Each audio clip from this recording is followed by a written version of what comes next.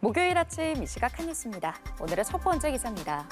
2년 전 강릉에서 차량 급발진 의심 사고로 손자 이도영 군을 잃은 할머니가 죄가 없다는 판단을 받고 형사 책임에서 벗어났습니다. 기사 열어보겠습니다. 강릉경찰서는 최근 춘천지검 강릉지청의 송치 요구 불효 결정에 따라 관련 서류를 검찰로부터 넘겨받았는데요.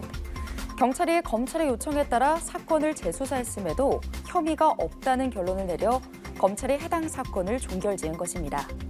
이로써 할머니 A 씨는 사건 발생 1년 10개월 만에 혐의를 완전히 벗었습니다. A 씨는 2022년 도연군을 태우고 티볼리 승용차를 몰던 중 급발진 의심 사고로 인해 손자를 잃었고 형사 입건됐는데요. 국가수는 페달 5조작 가능성이 있다고 판단했지만 경찰은 이 결과를 받아들이지 않았습니다. 이어 경찰은 9개월간의 재수사 끝에 혐의가 없다는 결론을 내렸습니다. 다음 기사입니다. 유진스의 소속사 어도어가 미니진 대표 선임안을 부결시켰습니다. 기사와 함께 보겠습니다.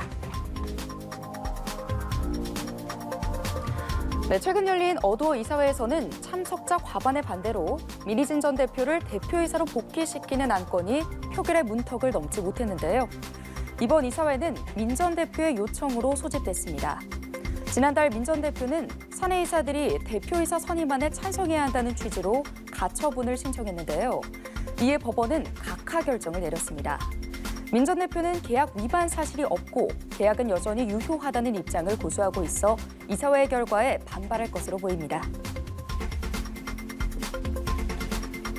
마지막 기사입니다. 메이저리그를 대표하는 명문 구단 양키스와 다저스의 경기 도중 무개념 팬들의 무례한 행동이 논란입니다. 기사 열어보겠습니다. 네, 선수의 글러브에서 공을 뺏고 있는 팬들의 모습인데요.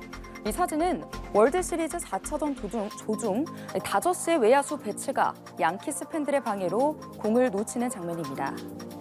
배츠는 1회 말 양키스의 1번 타자 토레스가 날린 타구를 쫓아 관중석 펜스까지 뛰어올라 공을 잡았는데요. 이 순간 양키스 팬 두 명이 배츠의 글러브를 붙잡고 공을 빼앗았습니다. 관중의 방해로 공이 떨어졌지만 심판은 배츠가 제대로 포구한 것으로 판단해 아웃 판정을 내렸습니다. 또 배치의 수비를 방해한 팬 두 명은 곧바로 퇴장 조치됐습니다. 지금까지 이 시각 한 뉴스였습니다.